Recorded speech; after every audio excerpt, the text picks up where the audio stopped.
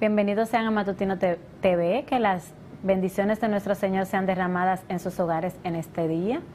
Vamos, como de costumbre, a compartir con cada uno de, ustedes la palabra de nuestro Señor.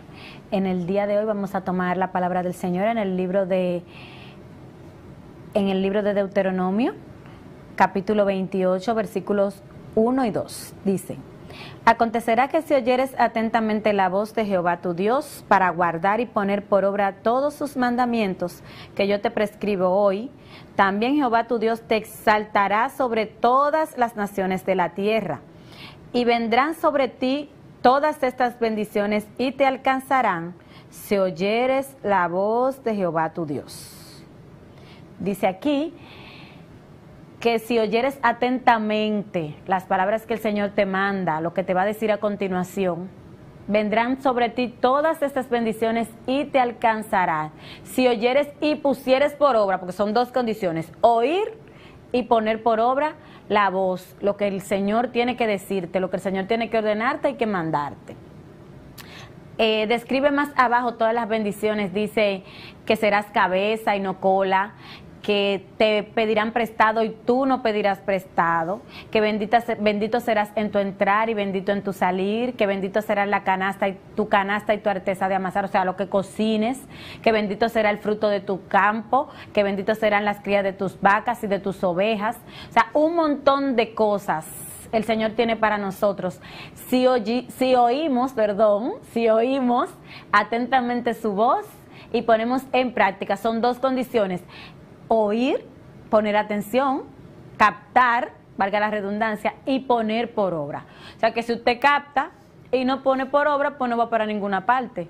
Y si no capta, ¿qué va a poner por obra si no oyó nada de lo que le dijeron? Entonces, dice aquí, si oyeres atentamente la voz de Jehová tu Dios, vendrán sobre ti. Si oyeres, repito, atentamente la voz de Jehová tu Dios y la pusieres por obra, que me faltó, vendrán sobre ti todas estas bendiciones y te alcanzarán. ¿Usted quiere que las bendiciones del Señor lo alcancen? Pues leas el libro de Eclesiastés 28, que ahí están las bendiciones de la obediencia, donde el Señor describe todas las bendiciones que nos van a alcanzar.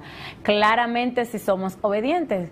Antes a eso, Jehová le dio en el monte Sinaí a Moisés los diez mandamientos, que todos los conocemos. Son tan simples como diez mandamientos. No matarás, no robarás, no cometerás adulterio, no levantarás falsos testimonios, eh, amarás a tu Dios con toda tu fuerza, el primer mandamiento, que es amar a Dios sobre todas las cosas. Todos esos mandamientos, que nada más son diez, que aunque parezca largo, que aunque parezcan tedioso, son respetando.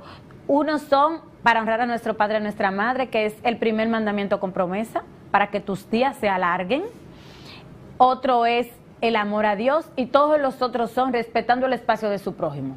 Si usted respeta el espacio de su prójimo y cumple los otros tres mandamientos que le mencioné antes, pues entonces usted está obedeciendo a Dios y todas estas bendiciones de bendito serás en tu entrar y en tu salir, que se escucha muy bonito, que bendito será el fruto de tus vacas, el ganado, tus ovejas, bendito será la canasta de tu de amasar, te tomarán prestado y tú no pedirás prestado y serás cabeza y no cola. Son cosas muy lindas que el Señor tiene para nosotros si somos obedientes. Entonces les recomiendo leer este libro de Eclesiastés 28 y poner por obra lo que el Señor nos manda en los mandamientos para que nos alcancen todas estas hermosas bendiciones.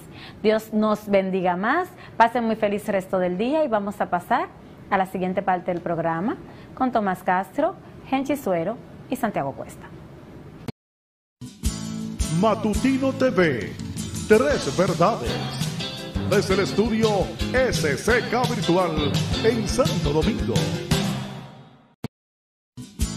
Matutino.